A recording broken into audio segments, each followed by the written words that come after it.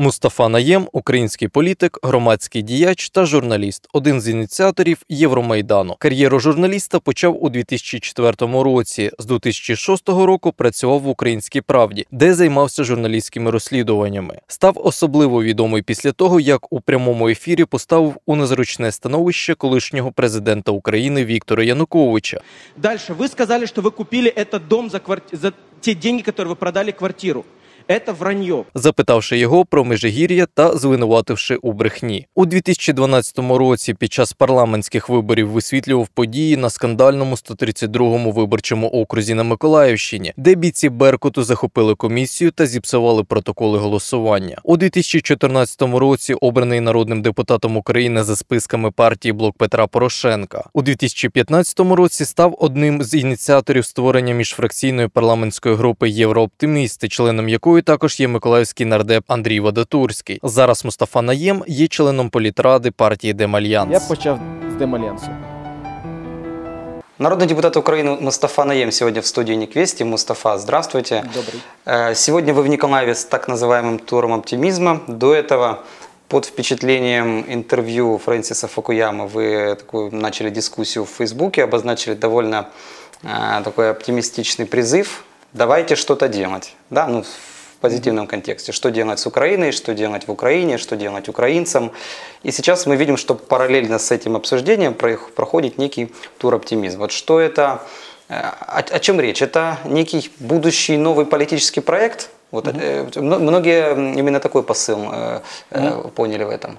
Ну, смотрите, э, тур оптимизма, да, как мы его называем, он э, организован межфракционным объединением Еврооптимисты, куда входят депутаты разных фракций и членами разных партий.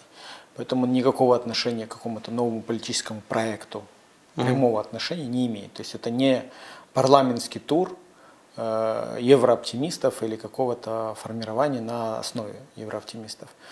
Но если смотреть глобально в целом с точки зрения смыслов, то, конечно, это он. Конечно, мы, и моя задача главная, которую каждый депутат ставит свою целью задачу в, этой, э, в этом туре, главная задача это, конечно же, начинать дискуссию о том, что мы будем делать в 2019 году. Это ваша индивидуальная задача или это задача как бы коллектива? э, э, Вы знаете, я думаю, что это скорее моя индивидуальная задача, но так или иначе на всех встречах об этом спрашивают у всех. мгм. То есть сейчас приехать в какой-то город и сделать вид, что не понимаешь, что происходят выборы в 2019 году, ну это достаточно так, ну, То есть правильно, Не э, речь идет о создании новой политической силы, в том числе под э, президентские выборы. Или не только А, президентские? Смотрите, э, это уже вы сейчас пытаетесь сформулировать, в какую конструкцию это все выльется. Да, пытаюсь А, Давайте формально, да. проще относиться к этому еще проще, чтобы не было недоговорок, и я бы не, не стал там сейчас придумывать, что говорить. Да? А Субъектами выборов на президентских и парламентских выборах являются либо политическая партия, либо кандидат в президенты. Да, самовыдвижение. А, поэтому, что бы мы сейчас ни делали, как бы мы ни вели эту дискуссию, это закончится либо кандидатом в президенты, либо формированием политической силы, либо платформы, которая объединит несколько политических Мгм. сил. А, И это все давно понимают. Вопрос о том, что мало кто пытается публично дискутировать, а, собственно, о, о чем речь. То есть мы создаем еще одну структуру просто, чтобы поучаствовать, или мы понимаем, реально осознаем, что может произойти в 2019 году. Что может произойти в 2019 2019 году? году, в моем понимании, э, давайте разделим, президентские и парламентские выборы. Самое страшное на президентских выборах для меня, это будет, если мы не сможем э, определиться со своим выбором, и вся наша кампания будет направлена на то, чтобы воевать либо с одним кандидатом, либо с другим кандидатом. Кто бы это ни был. Порошенко, Тимошенко, Бойко, Ляшко. А кто такие мы? Э, Теперь я сейчас перейду. То есть я бы не хотел свои, свое время, свои ресурсы, свои усилия тратить на то, чтобы бороться с кем-то одним. Э, Ну, потому что мне кажется, что ну, это достаточно так, во-первых, деструктивно, а во-вторых, ну, бороться, тратить свое время, чтобы бороться против кого-то, ну, это странная история. Надо придумать свою историю Так. и понимать, чего ты хочешь и какой твой кандидат. А вот эти мы, которым я сейчас призываю, я сейчас объясню, кого я имею в виду, это как раз те, кто будет принимать участие в парламентских выборах. Мгм. То есть, понятное дело, что президентские и парламентские выборы напрямую связаны. Кто эти мы? Для меня э, есть четкое понимание некой ценностной баррикады, которая так или иначе выстраивается сейчас и, очевидно, выстроится перед президентскими выборами. Когда я говорю «мы», я имею в виду те политические силы э, и отдельные политические фигуры, которые готовы скажем так, сжечь мосты с- со старыми э, традициями, старыми политиками и попытаться ввести э, дальше ту повестку дня, которую мы начинали 4 года назад Слушайте, на вот Майдане. сейчас очень интересно сразу уточнить. Вот вы тогда, когда писали пост, говорили, давайте поговорим без купюр. Да. Вот то, что ну, у нас такая, у нас в Украине такая политическая традиция, что только кто-то выходит с каким-то подобным начинанием, да, э, начинаются ну, искать определенную подоплеку. Да. Вот первое, что я прочитал, это то, что Фрэнсис Фукуяма на э, заявление которого вы опирались, представляет фонд Виктора Пинчу- Пинчука, а на телеканале Виктора Пинчука Фукуяма никогда не представляет. не представляет, а Пинчука. сотрудничал с ним. Никогда не приезжал, при, при, ну, он по его приглашению при- Нет. приезжал в Украину. Фукуяма приезжает в. Украину по приглашению э, э, католической э, ну, УКУ, да? Украинского католического В этот университета. раз приезжал. Но это же и не, в не этот, первый и в его. прошлый раз тоже он приезжал по приглашению Украинского католического университета. Ну, суть не в этом. Вот э, смысл в том, что об этом говорят. Мы же понимаем, как, как, как это работает. Я вот, вот кто-то говорит, что э, вот этот проект э, новые лидеры, кто-то под- давайте отставим все точки над «и». Да. Смотрите. Нет, вот еще, вот да, не, я- не, я... хочу, я хочу оборвать на этом моменте. Я тоже журналист и понимаю, о чем вы говорите. Первое. Никакого отношения к Пинчуку это не имеет. Так. Никакого отношения к новым лидерам это не имеет. Никто не собирается это связывать. Давайте этот вопрос закроем, в принципе, вообще как тему. Я объясню почему. Ну, точно так же можно связать нас с марсианами. Ну, наверное, сейчас Марс находится в какой-то фазе. То есть у меня нет никаких ни финансовых, ни политических связей. Ни с Пинчуком, ни с проектом «Новые лидеры». Вот давайте проще. Вы, вам там примерно столько же, сколько мне. Ну, плюс-минус 5-6 лет, да? Или там многие люди, которые нас смотрят. А что будет в 2019 году? Ну, реально, на самом деле. Вот на самом деле, что эти люди будут делать? А ведь после э, весны 19 когда будут президентские выборы, потом же будут парламентские выборы, а потом будет 20 год, где будут местные выборы. Вы приехали из Херсона, до этого вы были в Мариуполе. Я думаю, вы согласитесь, что облик украинских городов, да, там, за редким исключением, ну, не особо привлекательное зрелище. При этом уже какой год у нас э, есть это, то, что называется бюджетной децентрализацией. Города получили огромные средства. Э, милли- ну, бюджет развития Николаева исчисляется сотнями миллионов гривен. Вот э, ну, ничего особенного не произошло, как бы вот большой разницы. Вы Вы задавались вопрос ко мне вопросом? направляете? Да, потому что а вы- вы не хотите спросить у себя? Вот, например, я не у себя лично, а вот я был в Херсоне, был в Николаеве. Вот Да, два города. да. Я еще не буду говорить про Запорожье, мы это были в Мариуполе. Так вы отдали на места деньги, А, как не народный мы отдали, депутат. это э, реформа, которую мы Ну, сделали. естественно. Да. Так это, не- я не говорю, что это плохо. Вот вы не задавались вопросом, почему так? Э, Вроде бы денег стало больше, Я объясню почему. а на местах Потому никто не это, чувствует пользы реальной. э, ну, во-первых, а, это неправда, что не чувствует пользы. Неправда. Идите, вы, позба- идите, вы сами же писали, идите что. Ну, о Херсоне вчера писали. Ну, насколько Смотрите, он... э, давайте вот, О смотрите. перспективах... Я же могу тоже манипулировать, да? я умею это делать. Давайте будем э, по- последовательны. Первое. Давайте. Я не считаю, что это не дало плюс. Я считаю, А я тоже что- не считаю. Я считаю, что это одна из, э, возможно, там нескольких больших идей, которые были реализованы в стране, децентрализация, которая дает свои плоды. И я думаю, что, поверьте мне, вот вы вспомните мои слова, 2-3 года это будет бум местной власти. Это первое. Второе. Да, я при этом признаю тот факт, что местная власть, которая была и которая получила вдруг в эту манну небесную, оказалась не готовой к этому. Вот раньше что происходило? Дорогой парень с местной властью, какой бы он ни был, да, горсовет, облсовет, мэр Да, или да. губернатор. А, а вы что не делаете? Они говорят, ну как, это ж Киев определяет, мы-то что?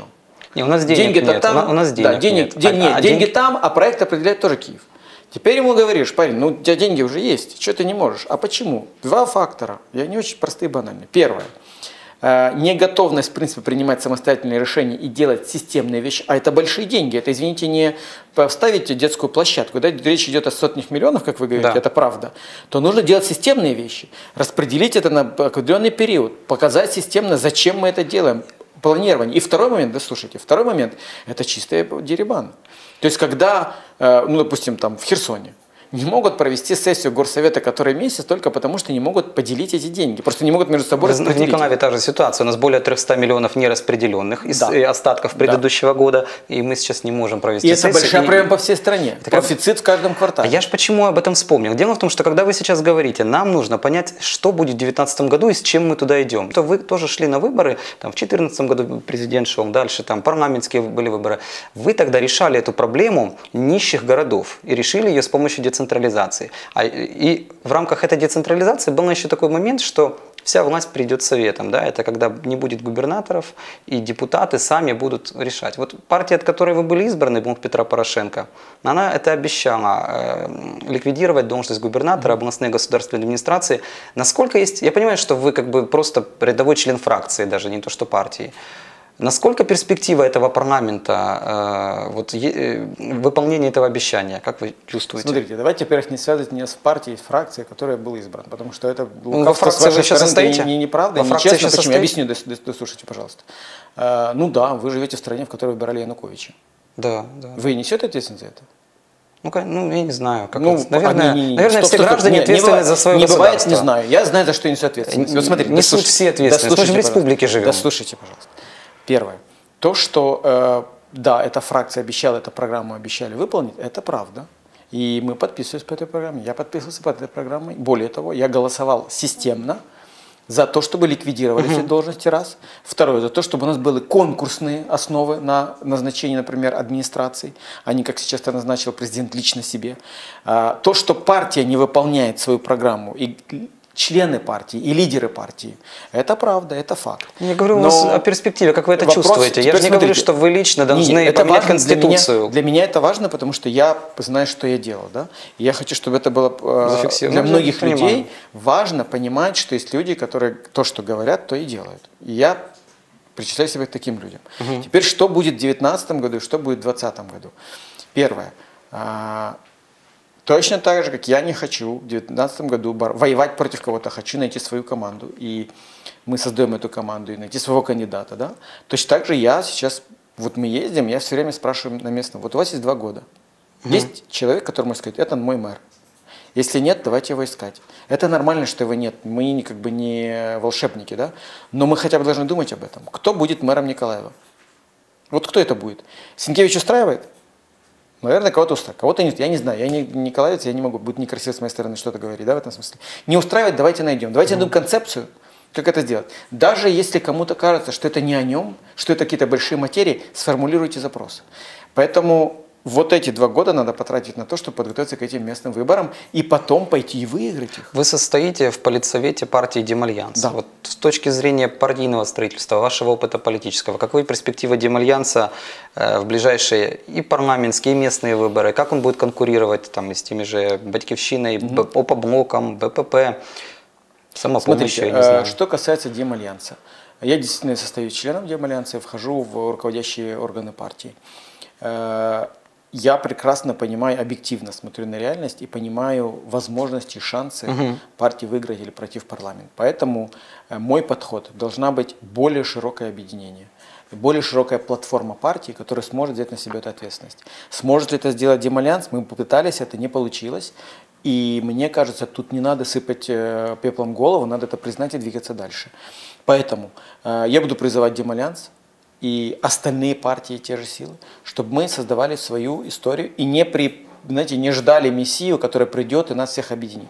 Оно не случится. Если есть возможность создавать более широкую историю, давайте ее создавать. Самое главное, я хочу, вот, чтобы поняли наши э, зрители, да? Послушайте, все это, вся эта суета, вся эта возня, она не, ради, не является самоцелью.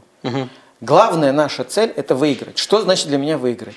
Это получить команду, получить нормальные рычаги управления, чтобы через 4 года, там, через 2 года мы сумели продолжить нашу повестку дня и по реформе правоохранительных органов, и по реформе местного самоуправления, и по реформе государственной службы и так далее. Для этого нужно четко победить на парламентских выборах, выборах, попасть в парламент с четкой командой.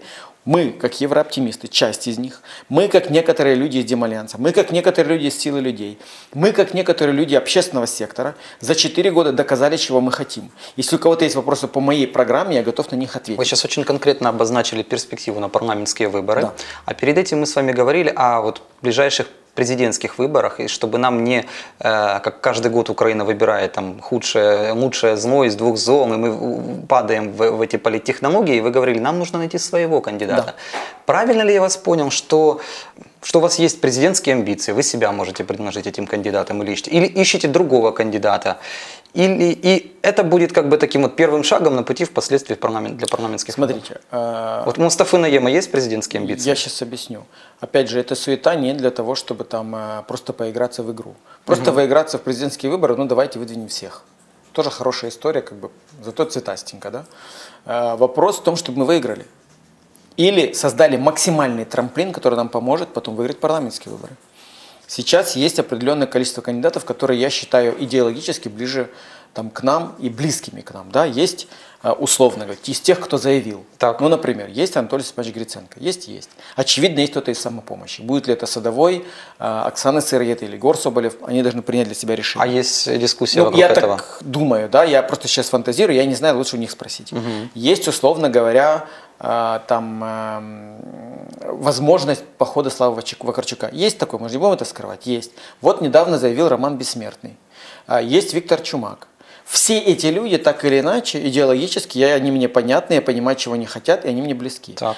А, Играть в игру, давайте там каждый определится своим кандидатом будет двигаться, это неправильно, нечестно. Праймерис устраивает? Или Ну, праймерис- садиться за стол это формат определенный, да, когда мы ходим. Я за то, чтобы эти ребята сели И определились между и себя? сказали, да? вышли из комнаты и сказали, смотрите, вот наш кандидат. И я готов, я это всем говорю им. Я готов в этом штабе работать на любой должности, на любой позиции и поддерживать этого кандидата с тем, чтобы мы на президентские выборы еще раз воевали за и боролись за нашего кандидата, а не просто выстроили баррикады и сидели, отстукивались от, от Вы врагов. коммуникатор или субъект в этом процессе выбора единого кандидата от, ну я не знаю, Смотрите, оптимистов, я молодых могу быть- оптимистов? я не могу коммуникатором быть между этими людьми. Они достаточно взрослые, пускай То есть вы такой же субъект, э, участник Субъект, переговоров, как, допустим, э, там будет э, Андрей Садовый и Субъектом Анатолий является кандидат в президенты. Я Да. не являюсь кандидатом в президенты.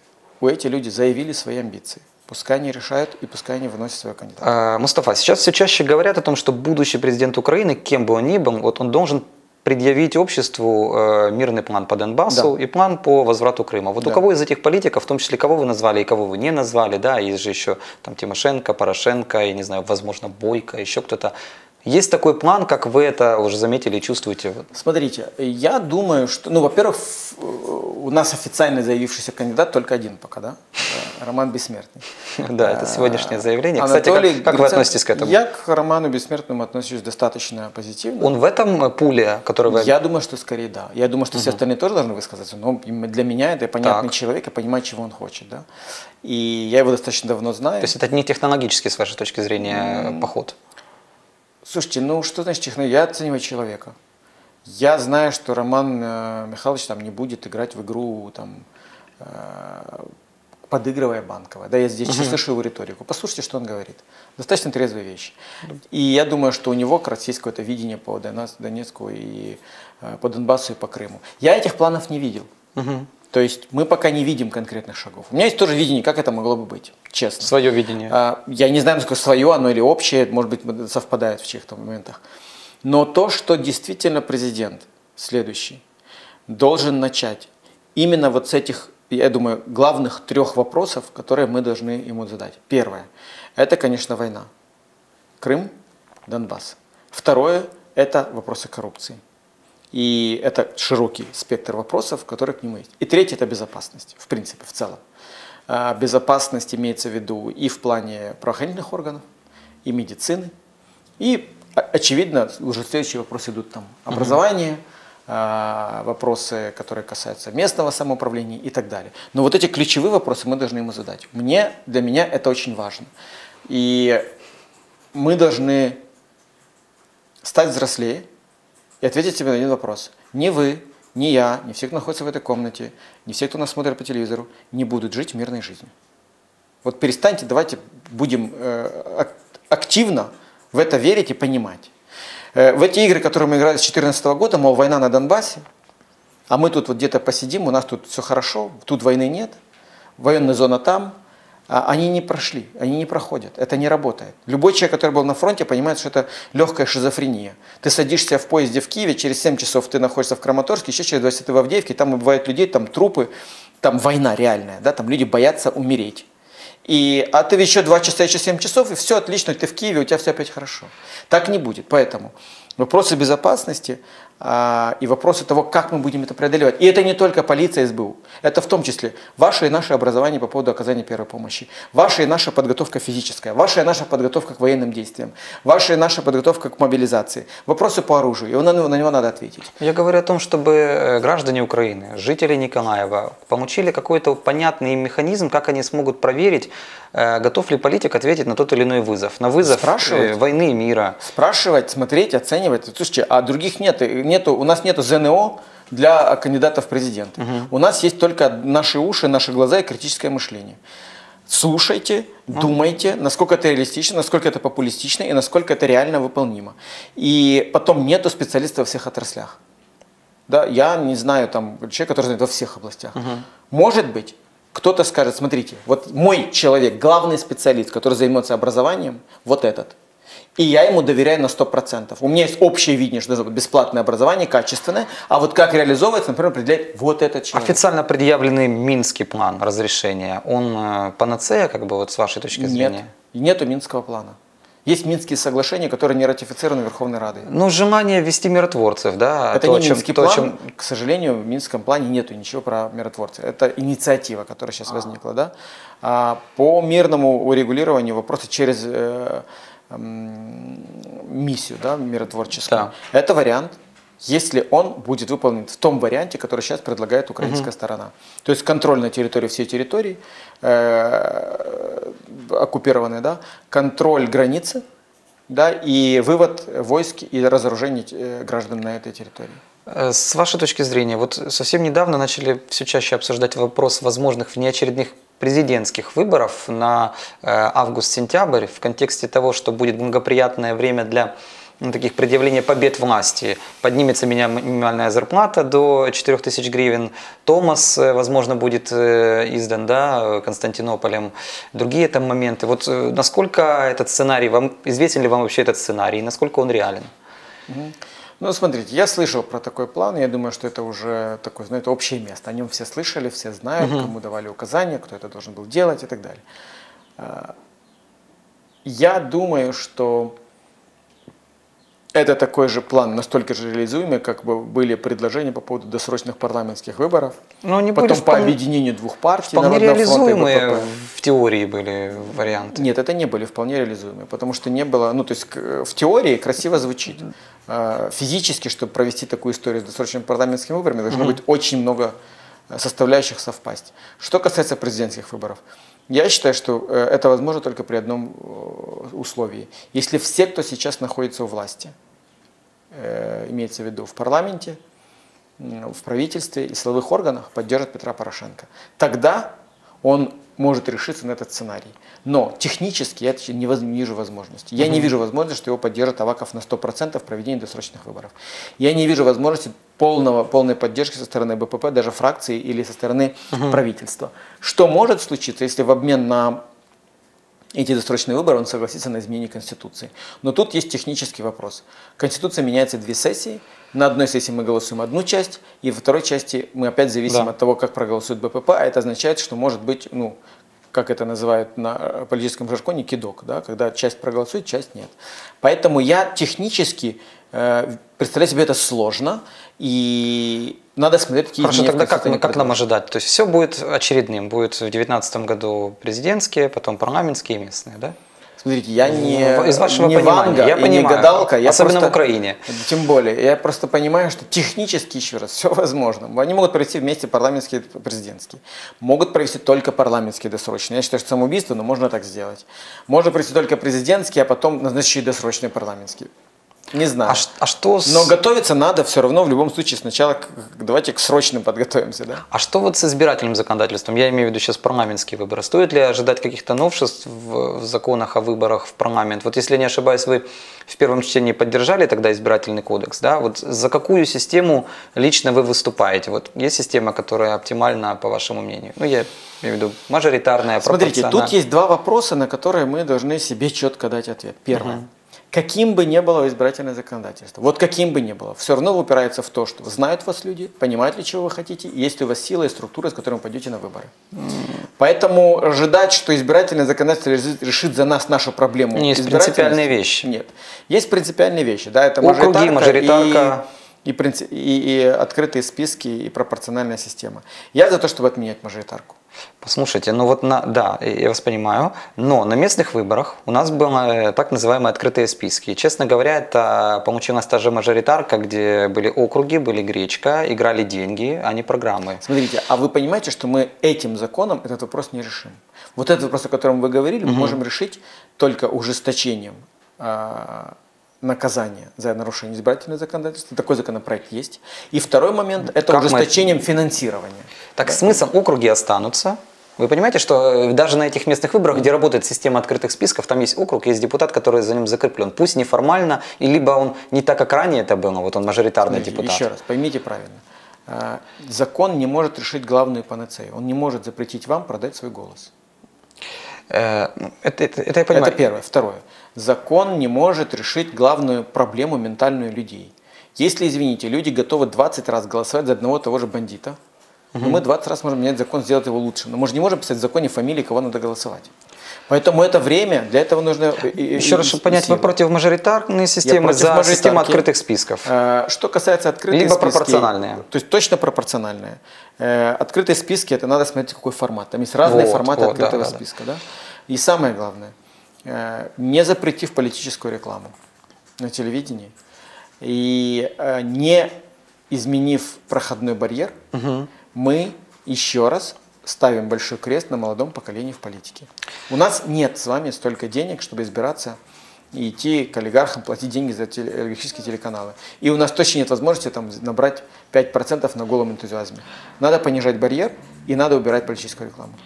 Вот мы с вами говорили, да, вот только что вспомнили о том, как местные были выборы, как, э, как, как работал над законом. Вот по этим правилам, по гре- с гречкой, с округами, э, с подкупом э, был сформирован нынешний городской совет. Ну, так или иначе, такие нарушения были. Понятно, что не за каждым кандидатом.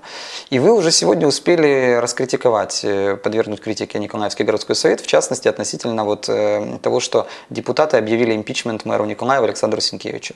А Можете подробнее объяснить свою позицию? Слушайте, я думаю, что вы знаете проблему Николаева лучше, чем я. У меня есть только ощущение, что м, ну, есть такой легкий туман да, вокруг э, Николаевского горсовета и вокруг мэра в том числе. Так. А, то есть человек пришел без поддержки. Ну, с Ну, поддержкой населения, 80 Нет, тысяч да, избирателей. Ну, я говорю, в горсовете. Ну, была фракция, 9 депутатов, Ну, если мы- не ошибаюсь, или ну, мы ж 10, адек- мы 10 адекватные люди, мы депутатов. же понимаем, что 10 депутатов это не там, 54 Это, это как да? БПП. Е, ну, смотрите, да, я понимаю, але ну, есть реальность, в которой мы живем. Да, кто да, да. влиял и кто это же. Да. Он трезво решил договариваться. Договариваться с людьми, с которыми сложно договариваться.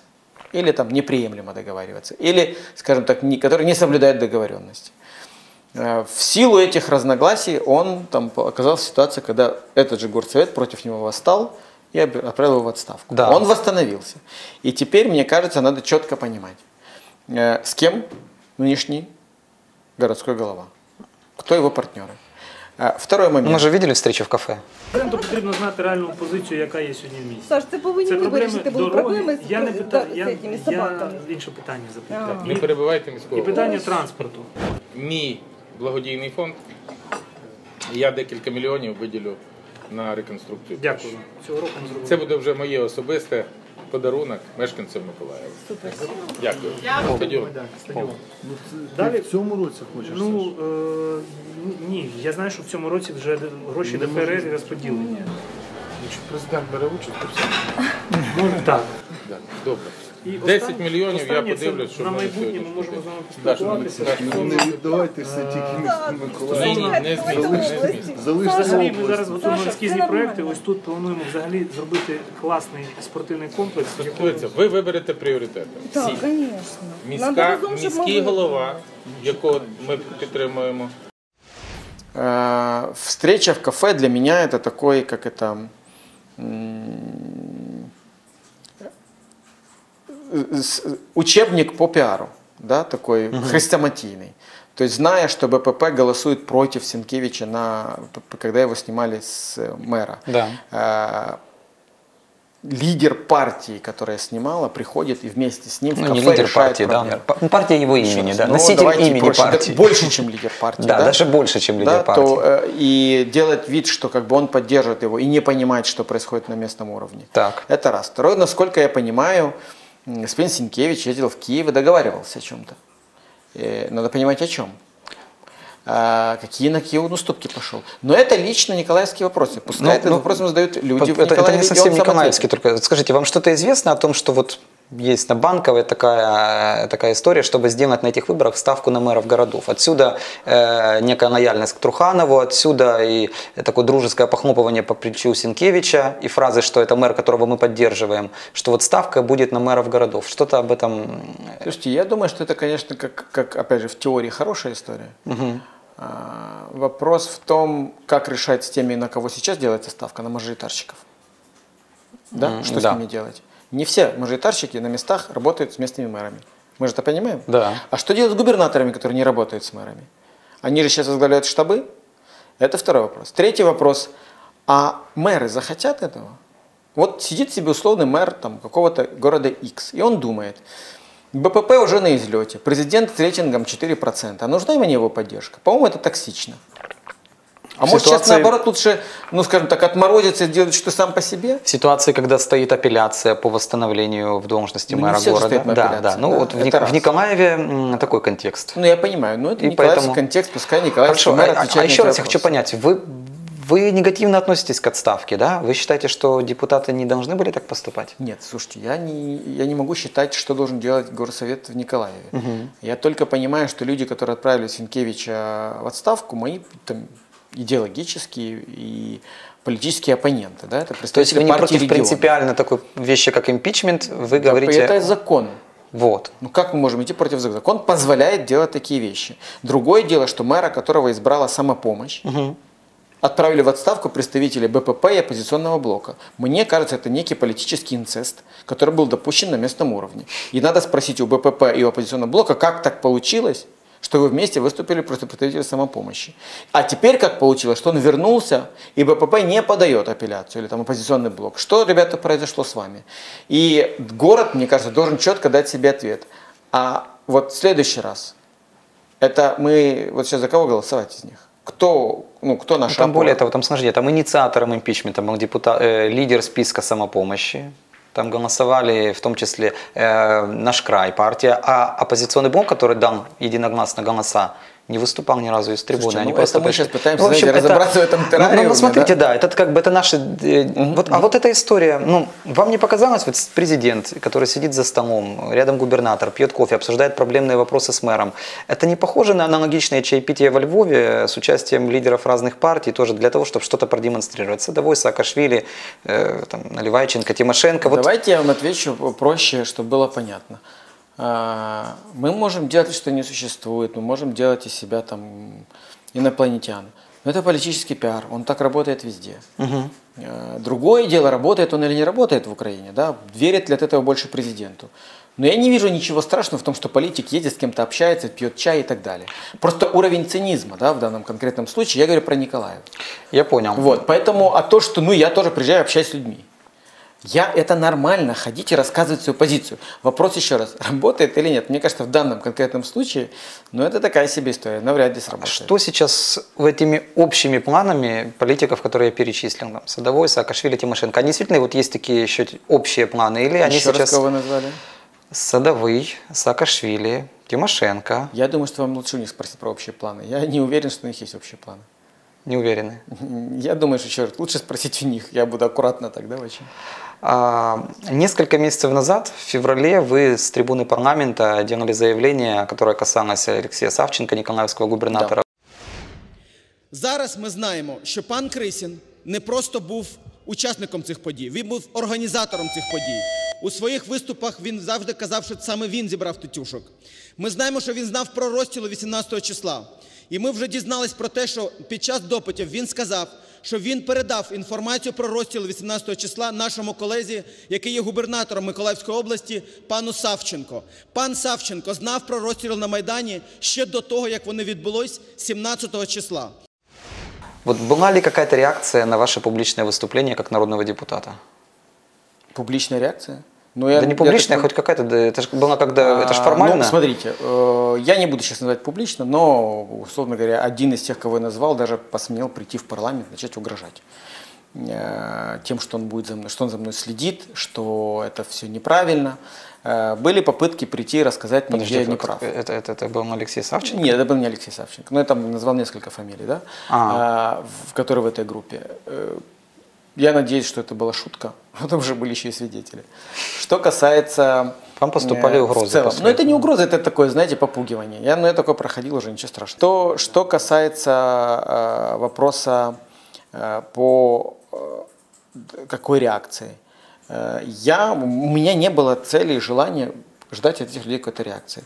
У нас есть четкая, понятная, простая цель. Есть человек, который подозревался в умышленном убийстве или непредумышленном убийстве. Э, По этому человеку было уголовное производство именно по убийству. Убил он нашего коллегу. Случилось это во время Майдана. Э, Во время следственных мероприятий, в том числе во время допросов, он сознался в некоторых фактах. После чего дело было переквалифицировано. Я сейчас говорю о Юрии Крысине, который принимал участие в убийстве журналиста Веремея. Веремея. Теперь, у меня, как у человека, который прошел Майдан, как бывшего журналиста, есть простой вопрос. Ребят, мы можем в суд передать нормальное досудебное расследование, материалы. А не так, что у нас, извините меня, э, возбуждается дело, то есть начинается производство по умышленному убийству, а потом переквалифицируется в хулиганство. Хулиганство. И происходит это совпадает с тем, как меняется прокурор генеральный, которым, который владеет банком, в котором этот Крысин э, работал и охранял. Мы говорим о Виталии Ереме. Да. А, И когда возникает вот такая история, наша главная задача сделать так, чтобы это расследование было независимым. У меня есть информация и подозрения, и я их четко изложил. Я не ссылаюсь на какие-то... Есть четкие факты, даты, которые показывают, что после назначения конкретного генерального прокурора были сменены обстоятельства дела. Моя задача, чтобы политического давления на это расследование не было, чтобы Крысин нес свое наказание. Крысина отпустили под домашний арест. Человек, который ранее э, подозревался в убийстве и который ранее э, подозревался в говорит? грабеже. Это говорит о том, что было политическое давление, попытки решить ситуацию либо деньгами, либо влиянием. Поэтому, когда мы начинали эту публичную дискуссию с трибуны парламента, и это делал не я один, то есть в команде, которая готовила эти материалы, есть и адвокаты, очевидно, в этой команде есть и юристы, и в этом команде есть активисты, которые переживают за это дело. Мы понимали, что наша главная задача сказать, смотрите, мы знаем, что в этом деле замешаны вот эти люди. Мы знаем, что может быть политическое давление. И вот факты, как это доказано. Поэтому просим вас, пожалуйста, воздержитесь. В противном случае мы будем публично дальше давить на вас, не на суд, не на следствие. И в данном случае, мне кажется, это сработало. Э, Господин Крысин сейчас находится в СИЗО э, именно по этому делу, где он задержан, э, чтобы он не избежал правосудия, он сейчас сидит в СИЗО. Мне кажется, это правильная ситуация. Дальше мы будем добиваться правосудия доступными нам способами в рамках закона. Вот и все. Э, Мы сейчас упоминали в том числе события на Майдане, их последствия. Можно долго оценивать и обсуждать все это. Но вот э, по итогу в стране поменялась власть, да, так или иначе. Вот скажите, вы тогда не пожалели, когда написали в Facebook этот пост, что берите пледы, берите термос, э, берите чай, выходим на Майдан? Нельзя э, говорить, что не пожалел. Да? Мы понимаем последствия. Погибло огромное количество людей. И ни одна жизнь не стоит. И, и не- ты не можешь никогда говорить о том, что ты не жалеешь об этом. Да? Это было бы неправильно, цинично, неправда. С другой стороны, я понимаю, что в тот момент истории, в тот момент политики и моей жизни биографии по-другому я поступить не мог. А, Предвидеть обстоятельства одного поста в Фейсбуке в войне, ну, достаточно сложно. Поэтому это было бы неправдой. Ну и самое главное, давайте не преувеличивать значение одного поста в Фейсбуке. А, К этому мы долго шли. Я начну с истории Оксаны Макар, Ну да, вот- вот, Радиевка. вот Майдан же он вскрыл э, ряд проблем. Мы постепенно превращались в полицейское государство. После, а вы же помните, вы были здесь в 2012 году в Первомайске, где Беркут э, фактически украл протоколы э, парламентских выборов. Да, э, потом была Врадиевка. Это все привело к реформе полиции которые тоже вы имели отношение. И вот мы помним, как это все начиналось. Да? Мы говорили, ну, Хатя Диканаидзе, да, э, вместо участковых будут шерифы, вместо следователей там будут детективы. Что вот вместе с Хатией все ушло, дело было только в ее личности. Я не вижу сейчас каких-то таких серьезных попыток структурных изменений. Вот Слушайте, ну, во-первых, э, тут надо, опять же, нету черно-белой истории. Есть какой-то откат в э, том, что уже было сделано. Да? Там патрульная полиция, есть много людей, которые увольняются со службы, это тоже правда, это связано с материально-техническим обеспечением в том числе. Есть многие вопросы, которые связаны с профессионализмом и так далее. Э, Есть э, вопросы к структурным изменениям, которые происходят во всей системе правоохранительных органов, не только национальной полиции. Потому что у нас еще есть ДБР, которые сейчас не могут никак запустить. Да. У нас не, не реформирована СБУ, с которым есть вопросы. У нас есть проблемы с прокуратурой, которая тоже непонятно, каким образом э, сейчас вообще собирается реформировать. то, что специальной произошло. антикоррупционной прокуратурой. А, САП и так далее. Да? НАБУ Но- и постоянные конфликты внутри э, самих есть. правоохранителей. Но если сказать, что ничего не поменялось, стало хуже, это будет тоже неправда. Э, В каких-то отраслях, наверное, стало хуже. В каких-то стало лучше. Э, Вопрос, что мы собираемся с этим делать дальше. Я думаю, что нам сейчас, это один из вопросов, почему нам нужно выигрывать 2019 год. Э, Система правоохранительных органов устроена таким образом, что если постоянно ее не менять и не улучшать, и постоянно не держать ее в состоянии, что она должна улучшаться, начинают восстанавливаться старые связи, схемы, и это превращается в группировку. Да? Поэтому нам нужно максимально сжигать то плохое, что осталось из прошлого, и продолжить ту повестку, которую мы взяли дальше. Я правильно понимаю, нас ждет реформа полиции 2.0. Ну или не, не только Да не, полиции. это не, не может быть, нету такой, что реформа полиции, вот она, слушайте, есть, Пос- например, процесс. в э, Грузии до сих пор реформа полиции не закончена. Она взялась еще при Саакашвили. А в Чехии, это там модель, которая мне больше всего нравится, да, вот она э, сейчас до сих пор продолжаются какие-то процессы. Реформа полиции в Америке длилась, по-моему, 17 или 20 лет. Я не говорю, что настолько надо ждать, но опять же, это процесс, который должен двигаться все время. Я считаю, что мы сможем сказать, что реформа полиции закончена тогда, когда у нас будет четкий путь от патрульного полицейского до главы национальной полиции, кадровой подготовки, четко пониманием э, м, социальной составляющей каждого полицейского. А, И второй момент, чтобы эта же полиция пользовалась доверием людей. Не в целом как бренд, а чтобы люди доверяли своим участковым. Да? Вот две составляющие, которые для меня будут знаком, что что-то нам удалось. До этого еще далеко, это тоже факт. Спасибо. Мы общались с Мустафой Наемом, народным депутатом Украины, который сегодня в Николаеве. До встречи в эфирах. До свидания. До свидания.